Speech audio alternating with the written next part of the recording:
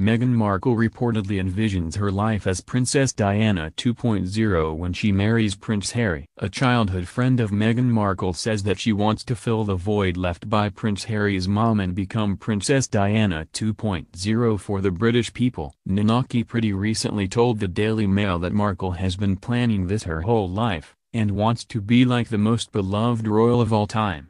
Closer Weekly is reporting that Priddy makes Markle sound a little devious, saying that the Suits actress visited England as a teenager and immediately fell in love with the royal family. She added that Markle wants to be the next Princess Diana, and Harry should watch out because his fiancée has been pushy all of her life. But, during her first post-engagement interview, Meghan Markle sounded innocent as she talked about not understanding the global interest in the royal family until now, when her friend set her up with Harry back in the summer of 2016. All she wanted to know was if he was nice. For Markle, if Harry wasn't kind, going out with him wouldn't make sense. Many girls dream of being a princess when they are little and modeling herself after Diana isn't necessarily a bad thing. Dickie Arbiter, the Queen's former spokesperson, says Diana would have loved Markle, as well as Kate Middleton. In an interview with The Sun, Arbiter claims Diana would have seen Markle and Middleton as the daughters she always wanted. She would be happy that Harry has finally found someone he wants to marry and start a family with. The prince himself has said that Markle and his mother would have been thick as thieves and she would have been over the moon about his engagement.